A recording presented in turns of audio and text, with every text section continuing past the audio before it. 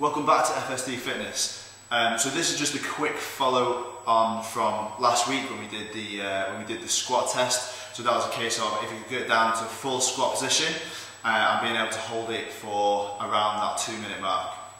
So uh, if you're unable to do that, then basically what we're going to do now is just try and find a way of uh, trying to improve uh, improve your chances at it.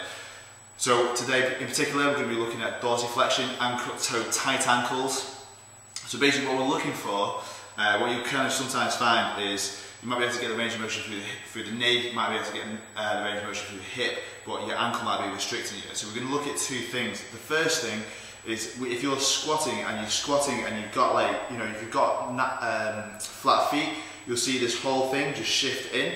So if I stand up, be able to see the knee. So if I, so if I let my foot completely relax, I'm quite, I'm flat footed, you see how my knee angle changes. And if you squat down, you see how that wants to collapse in.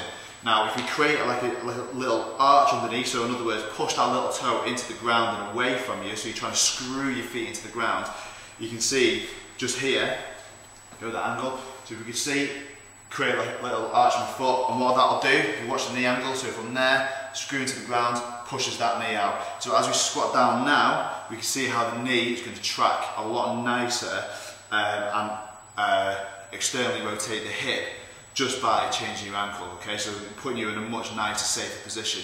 So there's less chance of this happening, we're going to engage the glutes and obviously as a result uh, increase, increase our strength. The next thing we want to look at is the actual dorsiflexion, so how much range can we get around the ankle. So dorsiflexion is basically uh, closing this angle like this, okay? So a couple of things we need to look at.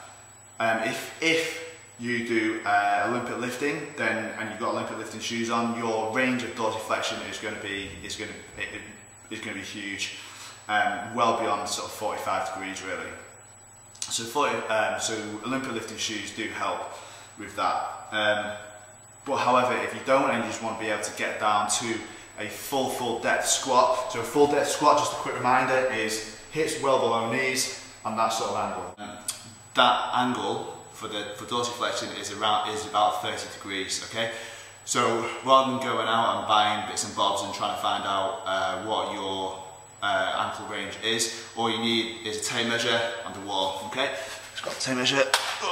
So what it, what it turns out to be, so unroll your tape measure, put it against the wall, and we're looking for about 12 centimeters, which is about here. So line up your toe with 12 centimeters so make sure you, you, your, uh, the foot that you're measuring is load bearing because load, because basically when your foot is load bearing, your, uh, your dorsiflexion will actually increase and because we're going to be doing squatting, deadlifts, cleans, all that sort of stuff, jumping, plyometrics, etc., then we're looking, um, we want to be able to get that.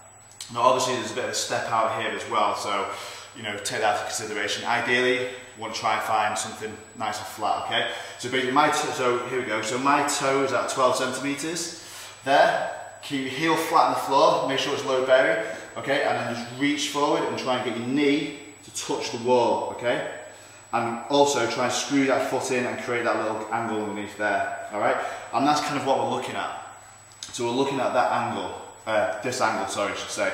So your toe wants to be around 12 centimeters away from the wall, and then that is around 30, uh, 30 degrees. Um, if you want to squat parallel, it's about here. What we're looking for there is around 8 degrees, um, 8 centimeters away from the wall, which is a um, which is about 20 degrees. So line the foot up against the uh, tape measure, 8 centimeters. Again, do the same. Lean forward, the closer that is, okay, so, the, so the less depth you can get. If you're doing box squats, then you know that can be as little as 10 degrees really, okay, but if you want to get full range of motion through hips below, uh, hips below the knees and get back up again, keeping the torso up to help keep the torso up, then we're looking for a 30 degree range through dorsiflexion, which is about 12 centimeters away. So, if you're struggling to get that, there's a couple of methods that we can do um, to help.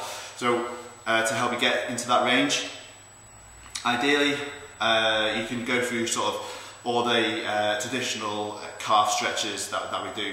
However, you want it to be quite specific to, to squatting uh, and deadlifting, etc. So what we kind of find is if you get into that position and hold it for around two, uh, around two minutes, let the, let the muscle fibers change, then you know it's, it's a slightly better, uh, better way of getting like a really specific stretch to, to what you need to do. Okay, so I'm going to show you two stretches or two ways of sort of like increasing that range. Okay, so so the first thing we need to do for this one, keep this out of the way for a sec. Need that for a second one. The first thing we need to do is come to a squat rack or something that you can hold on to, basically what we want to do, put your feet close to, uh, as close to it as possible, and squat yourself down, and then what you, want, what you need to be able to do then is you can hold yourself, keep your back nice and flat, and you can reach and get into those corner ranges, okay? And you can sort of find out and find where it's tight. And when you find a tight bit, just lean and hold, and then hold it and drive that knee out and shut that angle, angle as much as possible and hold that for around two minutes. Okay, so that's a good way of doing it. And then obviously swap around, do the, ah, do the other side, okay? Next one, you need a big band. Okay, so don't get don't get one of those little tiny TheraBands. It's, uh, it probably won't end too well for you. So you want like a nice big strong band, and then basically all you do get yourself on the inside of it.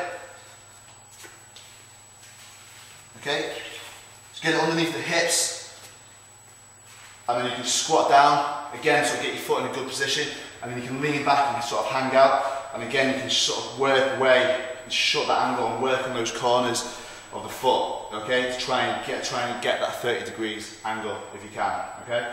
So again, sort of like when you find areas of tightness, just hold and sit and hold it, okay. Keep back nice and flat, shoulder blades up, uh, shoulder blades back, chest up, and that's pretty much it, okay.